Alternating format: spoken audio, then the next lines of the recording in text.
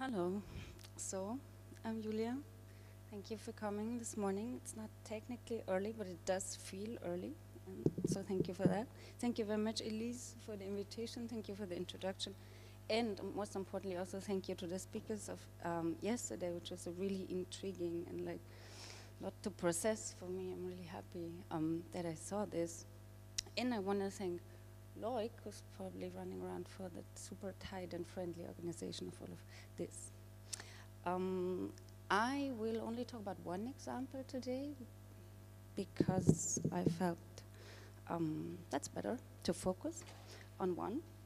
And it's about a reading group, and since anyway, talking about talking um, is tempting, but sometimes still a little bit um, awkward. I want to start with a reading. Okay. I just read it. This marks not only the final stage in the commodification of the scopic, but also the triumph of vision over all the other senses. It is also something of a special concern from a feminist perspective, because it tends to reinstate a hierarchy of bodily perception that overprivileges vision over other senses, especially touch and sound. The primacy of vision has been challenged by feminist theories which have inspiring things to say about scop scopophilia, that is to say, a vision-centered approach to thought, knowledge, and science. Braidotti, uh, 2011. In a psychoanalytic perspective, this takes the form of a critique of the phallo phallogocentric bias that is built into vision. Thus, Irigaray links it to the pervasive powers of the masculine symbolic. Keller reads it instead of a rapacious drive towards cognitive penetration of the secrets of nature which bear a direct link to the social and psychic construction of masculinity. In a more socio-political framework, Haraway attacks the priority of culture gives priority our culture gives to the logocentric hold of this embodied vision, which is best exemplified by the satellite eye in the sky. she opposed to it an embodied and therefore accountable redefinition of the act of seeing as a form of connection to the object of vision, which she defines in terms of passionate detachment. Thank you very much.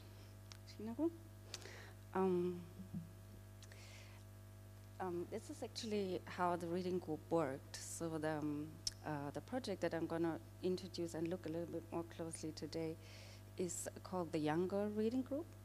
And um, it's founded by the artists Dorota Gawęda and Eglė Kulbokaitė that are based in Berlin and have now just recently um, set up a program at this art space Oslo 10 in Basel which I think is a beautiful example because also yesterday speaking a little bit like a conceptual public, um, conceptual collective persona, um, they founded Agatha Valkyrie Ice, who is um, this kind of fictional somebody who's technically the director of Oslo 10 now. And um, they founded the reading group in 2013 uh, when a book came out by the collective Tiqqun, that's like an artist, activist, French-based collective, and they have written a book that's called mm -hmm, Technology.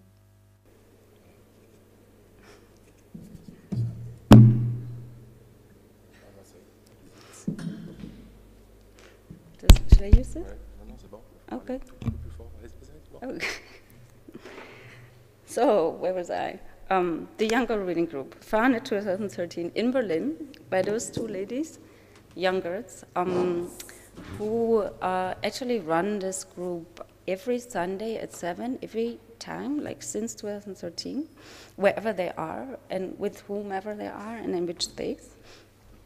And um, it's been, uh, it, it, was instigated when this book came out, the theory, um, preliminary materials for the theory of the young girl, by this group Tiqqun. It was published uh, first in 1999 in French originally, but it was translated to English in 2013. and so uh, when it came out, I felt like they wanted to read and discuss this, and so they started with this book, and that's why the that was the first session. That's why the reading group's called like that. And it was also a really important book to me, um, not only because I've been following and like the Tiqqun um, theory that can't go too much in detail and has been really uh, crucial to me, but also um, the, the concept of the young girl that is not a young girl necessarily, not young, not a girl, was also really important to my kind of growing up, like process of, I don't know, post-adolescence or whatever.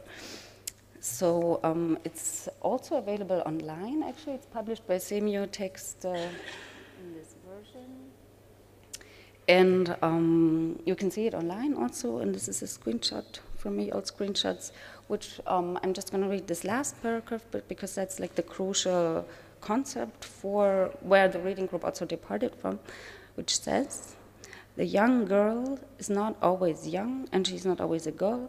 She is but the figure of total integration into a social totality that's disintegrating. End quote. So this just to get like the core uh, problem that the young-girl reading group started to tackle. And uh, since the republishing, because between 1999 uh, 2013, of course, there are many things have happened, uh, most of which, or the, the, important ones I think we're discussing here also in the post-digital context. So um, I want to look just quickly at this one paragraph that they um, added to the description of the book um, for its republication. And maybe somebody else wants to read it. Maybe Didem wants to read it, because Didem is a very good reader. um, just the one starting from in the years since the book. In the years since the book's first publication in French, the worlds of fashion, shopping, seduction, plans, makeover projects, and eating disorders have moved beyond the comparatively tame domain of paper magazines into the perpetual accessibility of internet culture.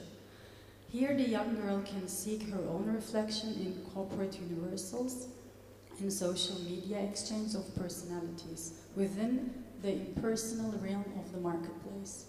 Tracing consumer society's colonization of youth and sexuality through the young girl's freedom, in magazine terms, to do whatever she wants with her body. Tiqqun exposes the rapaciously competitive and phys physically ruinous landscape of modern love. Thank you for that. so, while I unfortunately, as I said, can go like much deeper into those details, um, I want to return, I will go now into um, how and why I set it up at, at the Kunsthalle in Zurich. And I'm going to go to a homepage for that. I was actually thinking last night while preparing it that the homepage is also such a weird, terrible word. Like in a Baudrillardian dystopia, it's probably like our only homes left or something. I was just wondering, like a new horror vacui of homelessness or so. But this is our homepage. Welcome to the Zurich. And um, maybe it's, it's good to also share a note on how that actually happens. I mean, what the hell is a curator of theater programs doing? So basically, it starts. Uh, the artists come. Um, you know, they're invited. They come for site visits. So what you do, unless not, not unlike um, most other curators, is you hang out with them. You try to understand their reference. For me, it's particularly important then to see what did they read, what did they look at, what's their context, what's their reference. Try to understand them. Try to read a little bit of the same thing, like they do. Then they come installing and it gets really busy and you get to know them a little bit better and from different sides. And then you also need to understand what's missing, like what's their reference, what do you feel um, could be added, but can you add also to their discourse and context, um, most importantly. And then you had to hang out, spend time like in the nights when they rearrange the whole show and have a beer. And um, this is the shows that we had at the time when we made the young girl reading group during the last month. This is Loretta Fahrenholz, a young artist from Berlin, who made um, who, who, had her first um, big institutional solo show with us, like it often happens at the Kunsthalle, which is not only, of course, like a huge pressure, but also a really, as you can see, like a space that's very challenging to to test our things, to experiment, because it's very wide. I mean, the ones of you who haven't been there at the Löwenbräu uh, will know that it's also just renovated and everything is it's a little bit. Um, it's more like a hospital, actually. I think. And so you need to understand, okay, what, how can we give a little bit of life back into this show? Because I also tend to think of openings rather as um, funerals. Like you have all this exciting time that it just um, mapped a little bit, and then there's this opening part, and then, you know, in some spaces it's just over. And so I think the main responsibility of curating public programs is trying to insert or like reinsert or just kind of reanimate um, that process of preparation during the duration of the exhibition. And Loretta's show was uh, on our third floor, and we also have a second floor. We are on two floors at the Kunsthalle. It was by Pauline Boudry and Renate Lorenz, who maybe a little bit more of you may know here in Switzerland. Um, Pauline's from, from French Swiss part. And um, they are particularly known, they work longer, they're older than Loretta, for a feminist and activist practice. They work mainly in film and installation, and we produced this new film that you just see a little bit of it for the Kunsthalle. It's called Portrait of an Eye. And so it's, it was not only like one universe to, to delve into, like not only understanding like one person's reference and context and, and mine, but the, those two. And the one thing that intrigued me with that is um, the age difference for once. Uh, this is not age like in biolog biological age only, but also um, uh, working on the same concepts such as feminism and film, but from uh, rather different entry points, so to speak.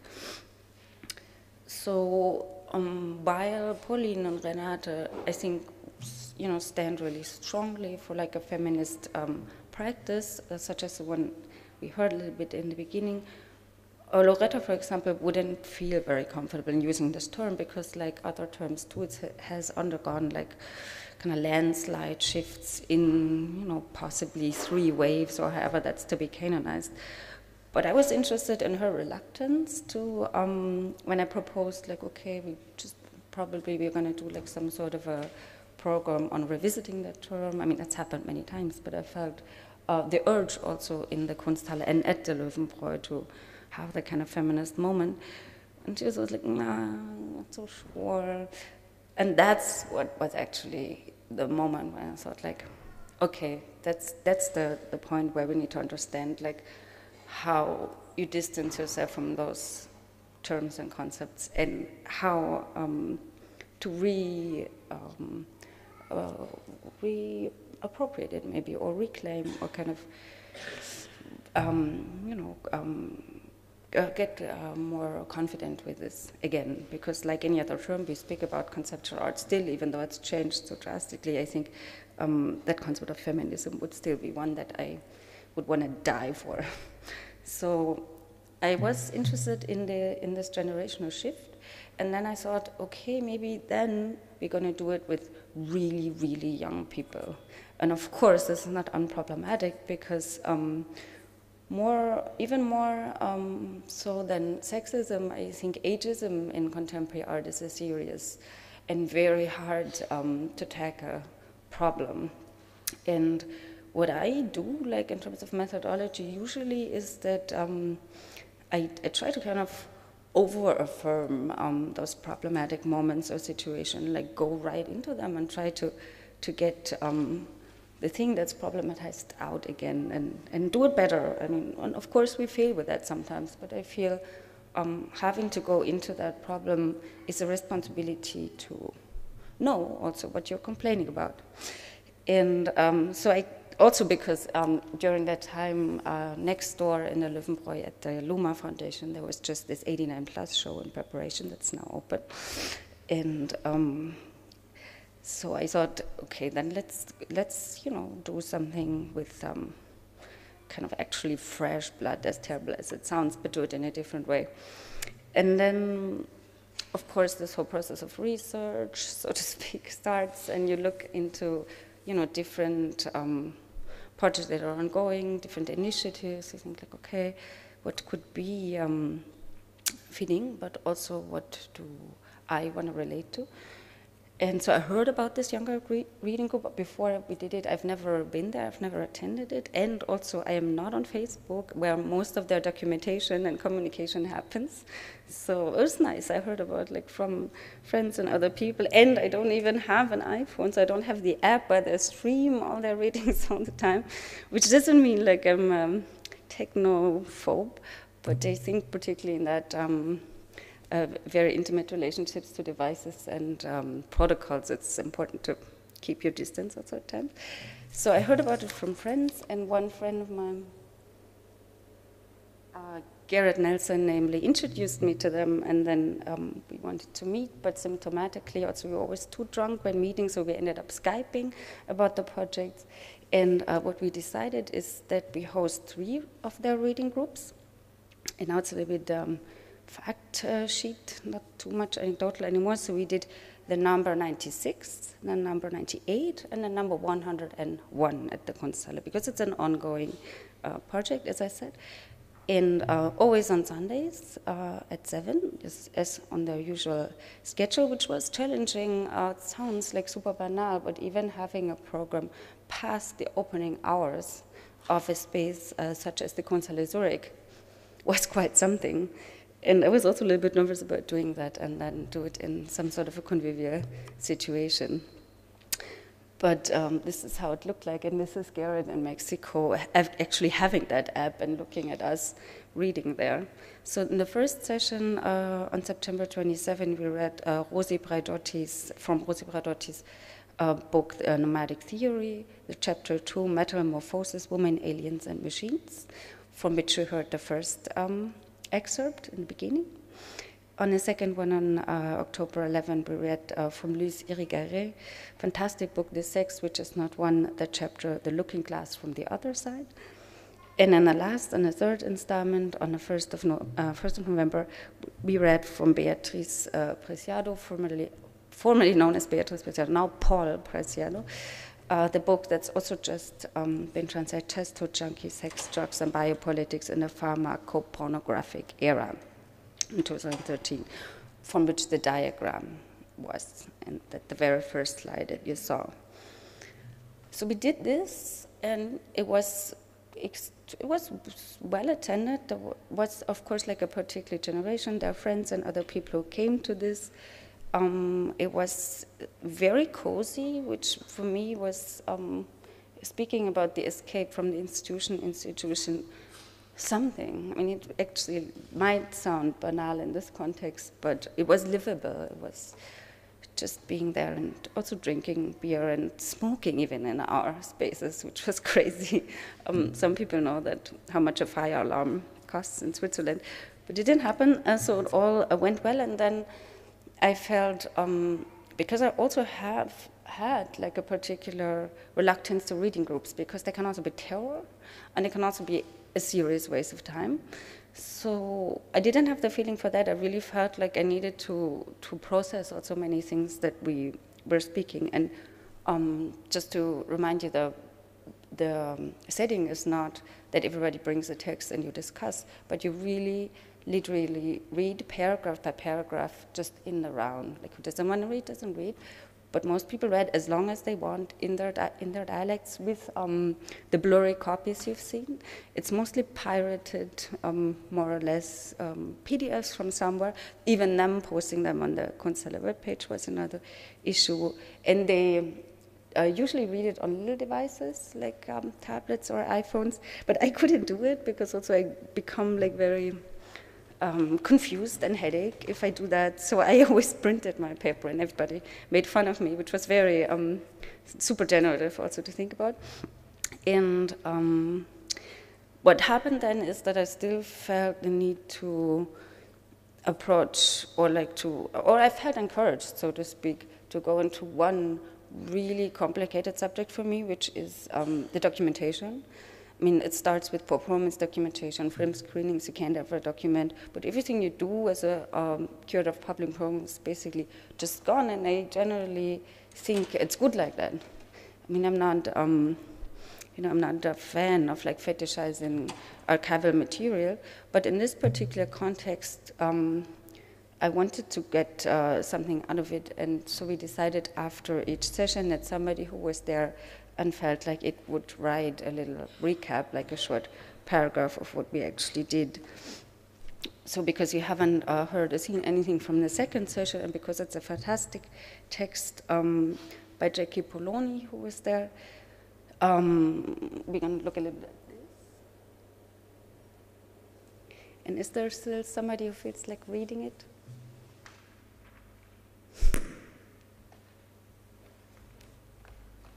Do you maybe want to read this thing or no?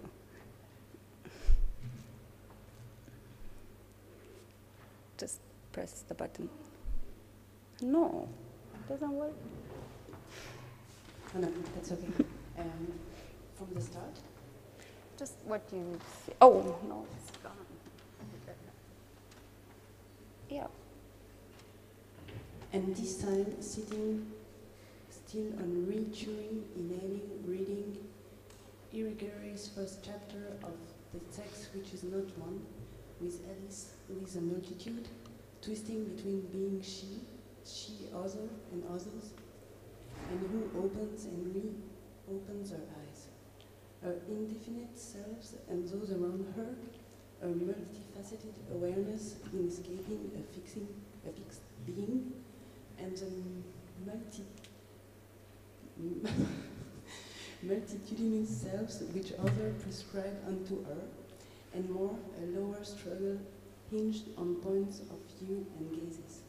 The reading uploads the spaces of the text, the spaces within and without Alice beings, the rooms in the houses and the objects within them, the gardens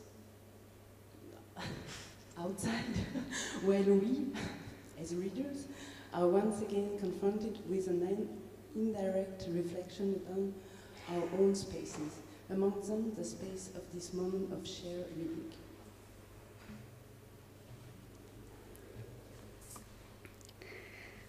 So I'm, not 100% sure yet if it actually does work, but for me it still feels, but it's probably also hard to evaluate having been there and writing and doing all these things, that um, we somehow managed in these little recaps to also um, uh, communicate a little bit of um, the awkwardness and the terror of reading out loud. I mean, basically in school, it's like everybody's most hated thing to just suddenly you have to read out loud. And it's very hard also what I learned uh, late in my life to uh, think while you read.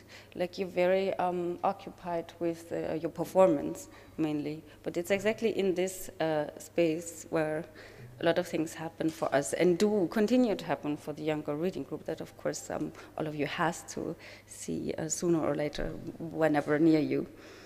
So to wrap it up in my remaining four minutes is um, uh, the question um, that I think um, kind of emerges from this is um, the relationship between like a body of text. You could say like maybe that's theory, uh, and the collective body, our collective bodies, or the bodies in space, um, which is the material more or less, if not material, but the substance you work with in public programming, in like live encounters uh, created. So if that would be like a practice moment, I mean, of course, it boils down to the relationship of theory and practice. But in that uh, specific example, the relationship between text and body was particularly uh, important for us to understand. And um, my answer, and you know the public programmers particularly always say like, we don't give answers, we only pose questions, like one of the most ter terrible things you have to hear over and over in conferences still. And um, yeah, it includes me too. So the answers that I uh, found for today, or actually rather last night, um, when I was also thinking about the, the sessions we heard, is, is these three terms, right, that I felt uh, could somehow summarize this attempt, which would be um, provision, prothesis, and posteriority, which is super big terms to conclude with, probably technically like a really bad conclusion.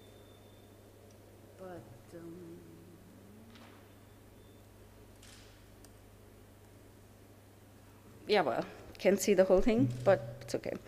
Um, I'm, I'm going to give you, because when really I look for answers, when I'm like impatient and unsatisfied, I was like questioning all the time, I do, and it actually is, I, I would say, like the main moment where I do find answers uh, is uh, etymology, weirdly.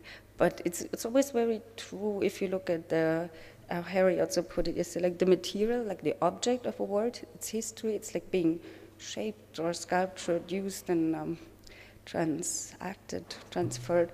So, what does provision actually mean? It's a, it's a really um, uh, imaginative word I've, i found. I really like it a lot.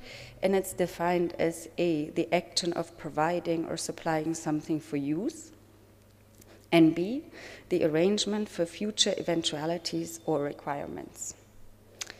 So, of course, like, you know, the vision, it's like foreseeing something. And it's also funny in German because um, uh, etwas vorsehen is also very, um, has the same kind of duality of providing something for use for the future, kind of manage the future in a way.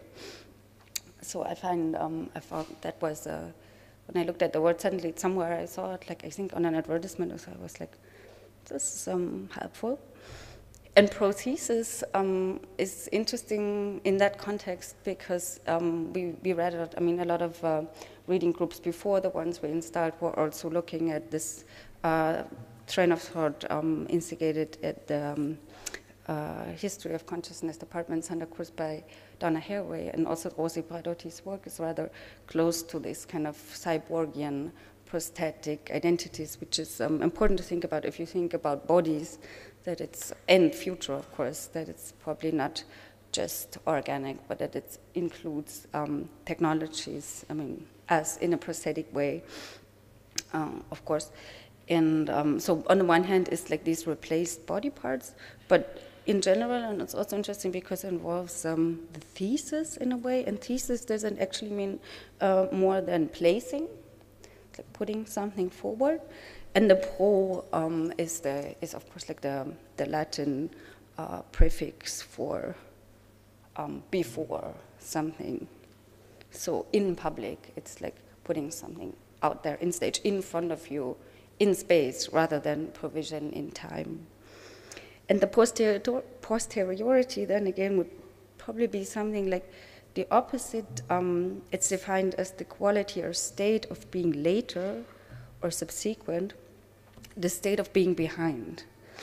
So from, uh, of course, the Latin again, posterior, later. It's basically the post of something, which is um, the main subject here. So in one sentence, this is always a little bit megalomaniac, but I'm going to try. I would say public programming in post-digital times, to me, seems nothing more, but actually um, absolutely nothing less than the act of supplying something for use, something to make future, something to place right before you in time and in space, in public, and therefore always also in a state of being behind. Thank you very much.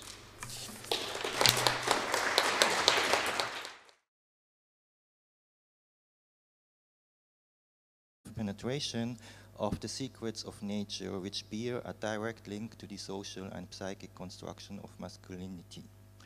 In a more socio-political framework, Haraway attacks the priority of culture gives priority our culture gives to the logocentric hold of this embodied vision, which is best exemplified by the satellite eye in the sky. She opposed to it an embodied and therefore accountable redefinition of the act of seeing as a form of connection to the object of vision, which she defines in terms of passionate detachment.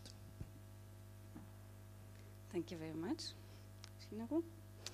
Um, um, this is actually how the reading group worked. So the, um, uh, the project that I'm going to introduce and look a little bit more closely today is called the Young-Girl Reading Group, and um, it's founded by the artists Dorota Gawęda and Eglė Kulbokaitė that are based in Berlin and have now just recently um, set up a program at this art space Oslo 10 in Basel, which I think is a beautiful example because also yesterday speaking a little bit like a conceptual public, um, conceptual collective persona, um, they founded Agatha Valkyrie Ice, who is um, this kind of fictional somebody